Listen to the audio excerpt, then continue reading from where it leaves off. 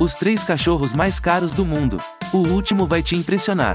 Em terceiro temos o Lulu da Pomerânia. Eles são pequenos e carregam um pacote de energia e charme. Sua pelagem fofa e personalidade encantadora conquistaram muitos corações. E essa raça pode chegar a custar 8 mil reais.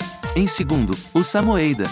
São conhecidos por suas pelagens brancas e fofas, são cães extremamente cativantes. Sua personalidade amigável e carinhosa os torna companheiros excelentes. E um filhote pode custar até 15 mil reais. Por último, o mastim tibetano. É uma raça icônica, reconhecida por sua grandeza e presença marcante.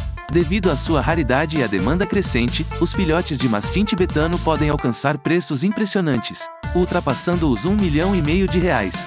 Deixe seu like se você ama seu cachorro.